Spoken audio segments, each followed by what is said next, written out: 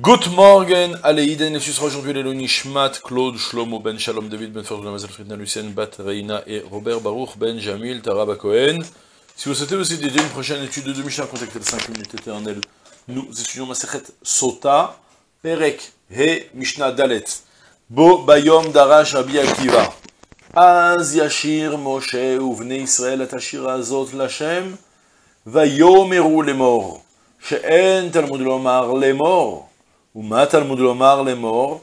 מלמד שהיו ישראל עונין אחריו של משה על כל דבר ודבר כקורין את ההלל.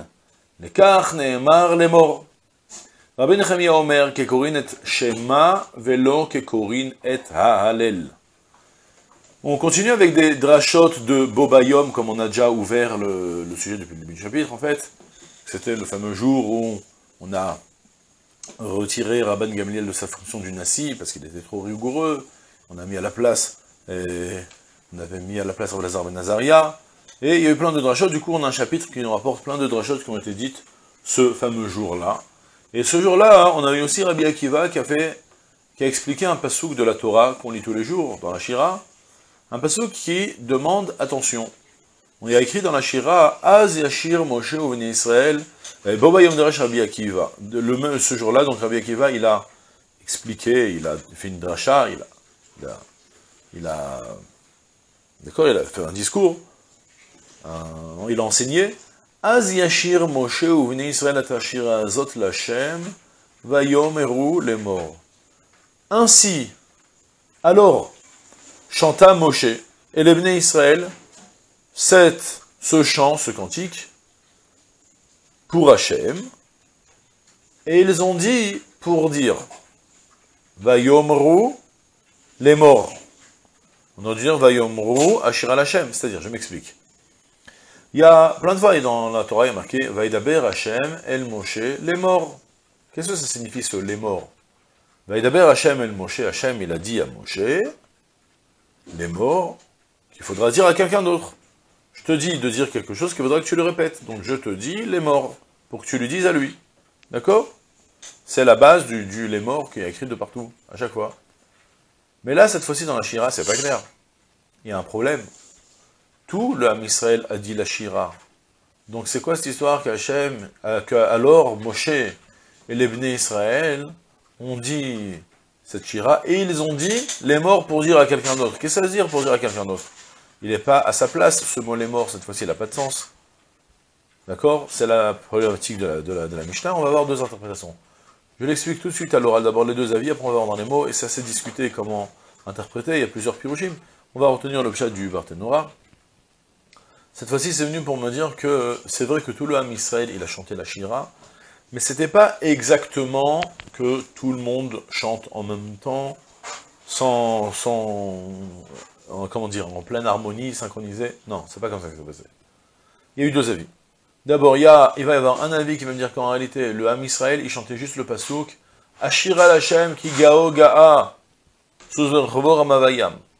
Soit, on commence, euh, on commence tout le monde ensemble, Ashira Hashem ki gao ga'a Et ensuite, Moshe Rabbeinu dit tout seul, Ozi vezimratia vayhi lilishua, ze veu el avir menhu, et le Ham Israël qui reprend, Ashira Hashem ki gao ga'a mavayam. Et ensuite, on continue comme ça, ainsi de suite, que la il répète toujours ce pasouk de Ashira Hashem. Comme ça, il faut lire le pasouk. Ben. Alors, ils ont chanté le Moshe ben Israël et Ashira Azot, les morts, dans lequel ils devaient dire, répéter ce pasouk de Ashira Hashem ki gao. Ça, ça va être la vie de Rabbi Akiva. Et le deuxième avis, ça va être Rabbi Nechemia qui va dire, non, c'était pas comme ça que ça s'est passé. Ça s'est passé que tout le Ham Israël a eu le roi HaKodesh pour dire la même Shira qu'ils ont dit en même temps, mais pas exactement en même temps, avec une petite nuance. C'est que le début des psukim, c'était Moshe Rabbeinu qui le disait à voix haute, et le, tout le Israël qui répétait tous ensemble. Un peu comme c'est le minag euh, dans plusieurs communautés, chez les Marocains surtout, quoi. Le vendredi soir, quand par exemple on dit Yom Hashishi Vaychol Hashem y a le Shalayar Sibour qui commence Yom Hashishi et tout le monde reprend Yom Hashem et on reprend Vaychal Elokim et tout ça. Le même principe avec la Shira, Moshe Rabbeinu qui dit Ozi vezimratia, et tout le monde reprend. Ozi vezimratia, va il et on dit tous ensemble, on chante tout le pasouk. Jusqu'au prochain chapitre, tout le monde s'arrête. Moshe Rabbeinu, il donne le feu vert en disant les premiers mots, et voilà. Ça, c'est le principe général. Maintenant, pour pouvoir exprimer cette marloquette, la, la Mishnah va utiliser des concepts qu'il y avait à l'époque sur la manière de lire le Hallel ou sur la manière de lire le Kriyat Shema. Des choses qui sont plus du tout en vigueur à notre époque, mais pour bien comprendre le Hallel, alors là, ça devient, ça c'est compliqué, mais il y a, tel que le Rambam, on va dire, c'est tel que le Rambam, apparemment j'ai l'impression que, que, le, le Club explique aussi comme ça, je suis pas sûr, j'ai un petit doute, mais en tout cas, d'après le Rambam, par exemple, vous savez que comment ça se présentait, le Hallel, comment on chantait le Hallel à la Knesset du, Rambam, et eh ben c'est à l'époque, comme ça c'était le Minag depuis la Gemara d'ailleurs. Et eh ben on avait le Chaliar Simour qui disait Alléluia, Alléluia d'Hachem. Euh, je sais plus, bon bref, il finit le pasouk et tout le monde répète Alléluia. Et j'ai plus j'arrive pas devant la caméra, je suis un peu intimidé, donc du coup j'ai le, le, cerveau qui court-circuite des fois, donc du coup je vais pas continuer. Mais en tout cas, d'accord, et comme ça il disait, à, la fin de chaque pasouk, tout le monde répétait ensemble Alléluia, ou encore tout le monde répétait le premier pasouk, Alléluia Avde Hashem, Alléluia.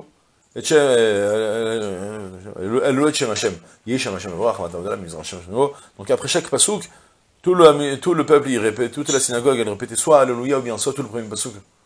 Alléluia, Alléluia Avde Hashem. Ça, c'est ce qu'on appelle et makré et halel. Comme ça, on lisait le halel en public. C'est-à-dire qu'on a le chaler tibour qui avance et le public qui répète un petit peu. C'est un peu comme le même principe qu'on fait le Oudou Kitov Kilolam Chazo, Kilolam Chazo, et ainsi de suite, et tout le monde répète Kilolam Chazo. C'est le même principe que ça, d'ailleurs ça s'appelle le Halel Agadol. C'était comme ça l'allure du, que ça se présentait qu'on chantait le Halel en public. Ça, c'est un premier avis. Un, un premier concept qui est admis. C'est comme ça que tout le monde disait le Halel. Mais du coup, Rabbi Akiva, va s'exprimer en nous disant qu'ils ont lu la Shira comme le Hallel.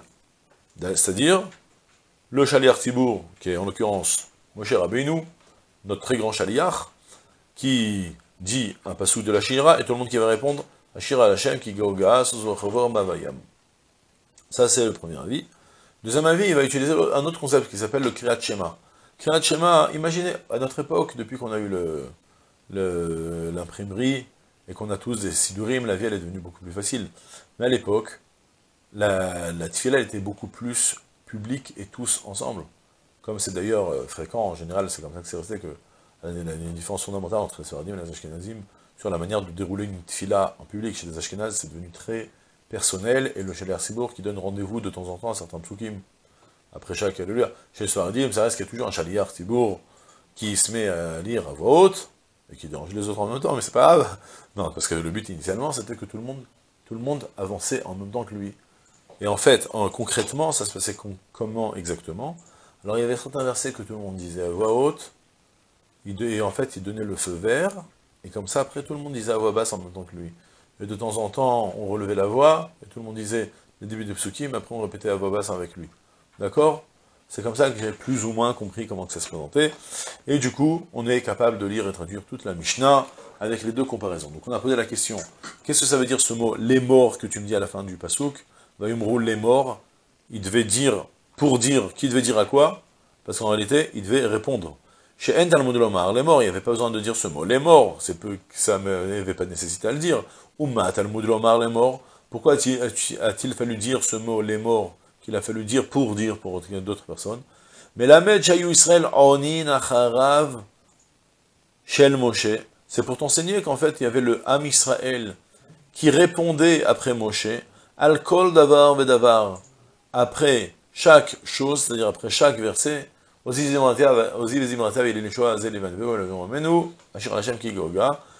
et ainsi de suite. Kekorin et Hallel, comme ce qu'il est d'usage de lire le Hallel, d'accord? Comme ça, il dit le Barthénois, Raché Prakim, Bilvad, Ayunim, eh, c'est un peu compliqué comment comprendre exactement dans le Barthénois. Je vous ai dit selon ce que, selon ce que le Tosot Tov, il explique selon le Barthénois, d'accord? Ça, c'est le premier avis, c'est Rabbi Akiva. Rabbi Nechemia Omer, selon Rabbi Nechemia, non, pas comme le Hallel, mais plutôt, Kekorin et Shema, comme ce qu'il est d'usage de lire le schéma. C'est-à-dire qu'on fait là-bas, tel que c'est expliqué de nouveau, on fait là-bas plus attention à ce que chaque personne dise tout le schéma mais avec le Chaliar Sibour qui donne des feux verts de temps en temps. Ça, c'est un premier avis. Velo, velo kikorin et comme ce qu'on a l'habitude de lire le schéma, et pas comme ce qu'on a l'habitude de lire le Hallel. Il y a quelqu'un qui explique, je ne sais plus où c'est que je l'ai vu, je dans le Tosotium Tov aussi, un autre explication, que non, que en fait, le schéma, il était d'usage qu'en fait, on, était, on faisait chômer à Kéoné. Tout ça, il rapporte ça, il nous rapporte d'une Tosefta. C'est rapporté ici, ça je rappelle, c'est lui. C'est le, c'est le Tiferet Israël qui le rapporte comme ça, qu'en fait, le Shalar Tzibour disait un demi-pasouk, et le Tzibour répondait l'autre demi-pasouk. Et comme ça, ils ont dit toute la Shira. C'est-à-dire, c'est pas qu'il y en a, c'est pas qu'il y avait un refrain que tout le monde reprenait, mais tout le monde chantait tout en même temps, mais comment exactement Moi, je qui dit la moitié du pasouk, Am Israël qui répond l'autre moitié du verset, d'accord? C'est tout pour aujourd'hui, je vous souhaite une journée pleine de Hatzlacha, Kol Tuv Sela.